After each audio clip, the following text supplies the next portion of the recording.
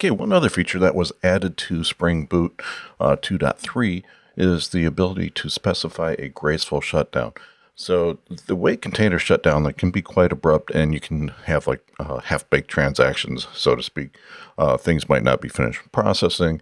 Uh, having a graceful shutdown gives the application the capability to get to a, a graceful state for uh, having everything done, so to speak. So you want to give it a couple seconds to get anything that's in flight completed rather than just terminating it abruptly.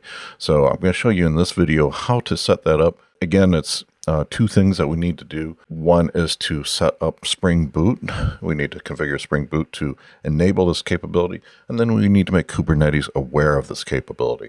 So the first thing we want to do is come in, and I'm going to look at the inventory deployment file we would need to add in another environment property, and this time it's going to be name. And creatively enough, this is called server shutdown. And the value we want to set is going to be graceful. So again, if there's a some type of uh, in-flight database transaction or if we're reading from a queue, we'll get that work done before we terminate the JVM. So this sets up the, the Spring Boot configuration.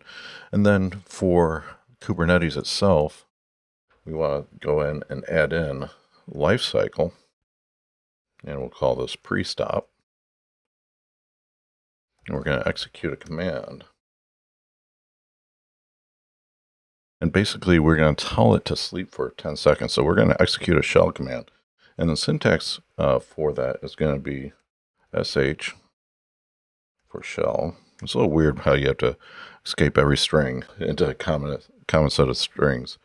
Uh, then comma C. And then sleep 10. So we, we have a, a comma list of strings here.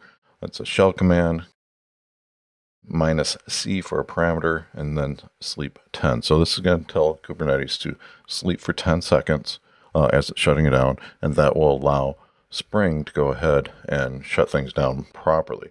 I'm going to pause the video and apply this to the other uh, two deployments real quick. So let me pause it. I'll be right back. So for order service and the beer service, I've also applied the uh, same values. You can see now we have the environment property server shutdown graceful and the stanza and the uh, container, uh, the container image uh, lifecycle pre-stop exec command sleep 10. And the last step we want to do is we're going to come over to the command line. And what we want to do is say cube apply minus f inventory deployment. And we ran into an error. So let's take a closer look at that. Oh, I see what I made. Uh, per stop. So this should be pre, and I'm pretty sure I copied that.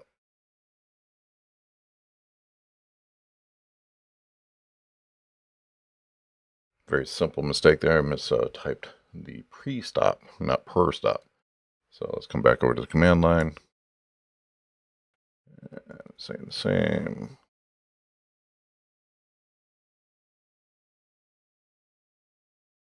And I'm just going to make sure that's saved. Let me pause this and take a closer look. And when I returned, I, I saw that I did in fact miss the per stop in inventory. So double check. Order is correct. And inventory beer, so they're all correct. So that's working better.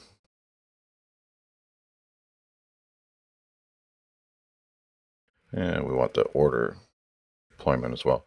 So that by doing a, apply minus f, the deployment, that, again, that's going to tell Kubernetes go ahead and uh, reapply those, and it will recreate those.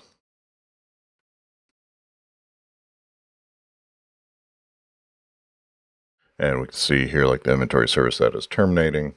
We also have a beer service terminating, and we can see that a uh, new one is uh, starting up. So by doing that apply, shuts down the old one, brings up a new one, and gets that ready for us. So those uh, values have now been set and our Spring Boot applications will shut down gracefully.